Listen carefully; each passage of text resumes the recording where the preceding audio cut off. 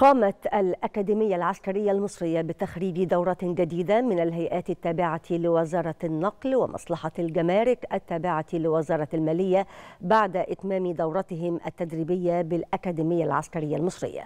يأتي ذلك في إطار حرص القوات المسلحة على التعاون مع مختلف وزارات ومؤسسات الدولة لتدريب وتأهيل الكوادر البشرية بكافة المجالات العلمية الحديثة.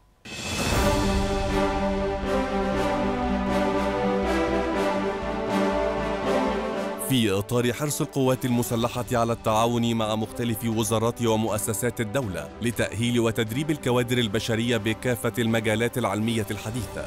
قامت الأكاديمية العسكرية المصرية بتخريج دورات جديدة من الهيئات التابعة لوزارة النقل ومصلحة الجمارك التابعة لوزارة المالية وذلك بعد إتمام دورتهم التدريبية بالأكاديمية العسكرية المصرية. بدأت الفعاليات باستعراض ومناقشة البحث الجماعي للدورات والذي أظهر مدى ما وصل إليه المتدربون من مستوى متميز على يد نخبة من المتخصصين في مجالات عملهم. كما تم عرض الموقف التدريبي الذي تضمن شرح برنامج الدورات وما اكتسبه المتدربون من مستوى علمي ومعرفي. تلا ذلك إعلان نتيجة الدورة. وألقى الفريق كامل الوزير نائب رئيس مجلس الوزراء للتنمية الصناعية وزير الصناعة والنقل كلمة. وجه خلالها الشكر للقيادة العامة للقوات المسلحة على دعمها المستمر في تدريب وتأهيل العاملين بوزارة النقل. وذلك من خلال إعداد كوادر تعمل وفقا لأعلى درجات الانضباط الذاتي مؤهلة بالعلوم الحديثة بما يواكب التطور التكنولوجي المتلاحق في مختلف المجالات.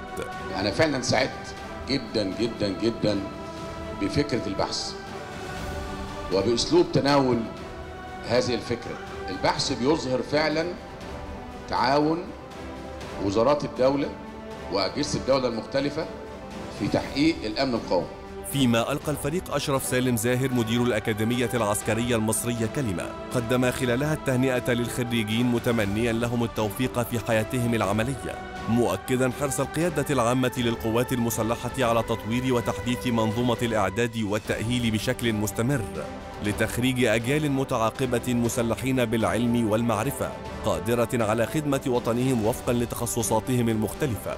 وأعرب الدارسون عن شكرهم للقوات المسلحة على ما لمسوه من رعاية واهتمام خلال فترة التدريب. أتوجه بخالص الشكر للأكاديمية العسكرية المصرية وعلى الدور العظيم اللي بيقوموا فيه في إعداد الشباب وإعداد جيل المستقبل. قدرنا كمان إن إحنا على الجانب العلمي والثقافي إن إحنا ندرس بعض العلوم اللي هتفيدنا في مجال شغلنا. اتعلمت حاجات كتير طبعا. أهمها إزاي أكون قائد في مكاني. بغض النظر أنا هتكون في يعني وظيفتي هتكون إيه. وأحافظ دايما على علاقتي بالمرؤوسين. وده بالنسبة لي حاجة مفيدة ليا كالميدان بتاعي اللي هو في الموقع. إن شاء الله هتكون دافع ليا كبير. استفدت إن أنا دوري كشغلي يعني مرتبط بالأمن القومي بتاع وطني.